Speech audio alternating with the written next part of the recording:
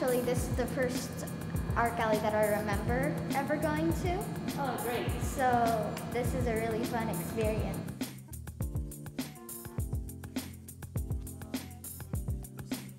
A little bit about my work is basically inspired by building structures. Uh, I love color, trying to find a symbol, like a symbolism in color. Um, also creating kind of my own characters.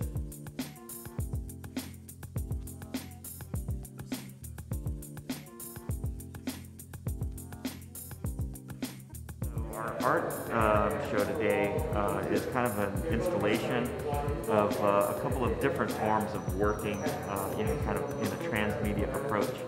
It's relevant, I think, to our times right now because uh, we uh, need to get need to get studio work done, but we also want to do public work as well. And so we think that we're bringing artwork out into the public at a time when people can't really come inside too much.